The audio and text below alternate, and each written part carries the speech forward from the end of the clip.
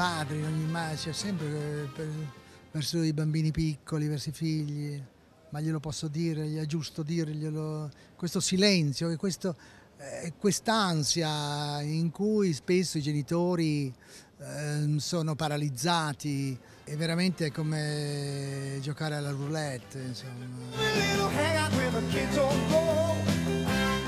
Questo dire, non dire, come dire, eh, aspettare eh, qualcosa che nel libro ma anche nel film è un po' un pretesto di questo ritardo, eh, di questa scoperta.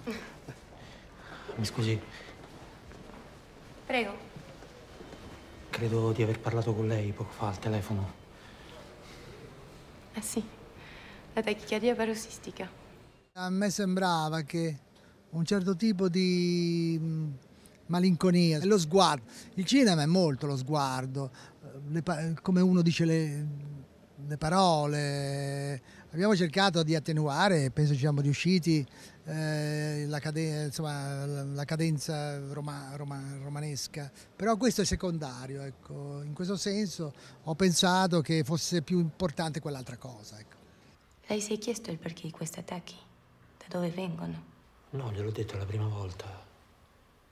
Quando mi viene l'ansia riesco a controllarmi, ci sono sempre riuscito. Poi da bambino, soprattutto dopo la morte di mia madre, avevo anche qualcuno che mi aiutava, che mi dava dei consigli.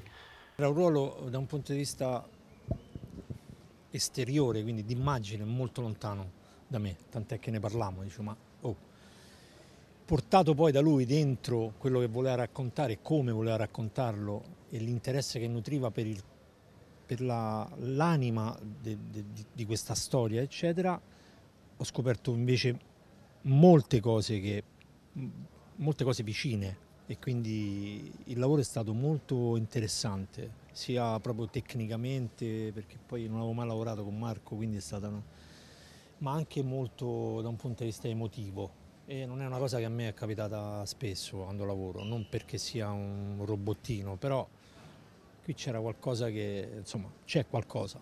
Eh, non mi chiedere che perché è troppo lunga, però forse nemmeno lo so. Però è un personaggio lontanissimo da me come per una serie di ragioni, non solo territoriali, eccetera, ma questa vicenda invece è molto molto molto vicina per certi aspetti a qualcosa che... Era un, un tipo piuttosto autoritario. Suo padre? No. E allora chi? Un suo amico?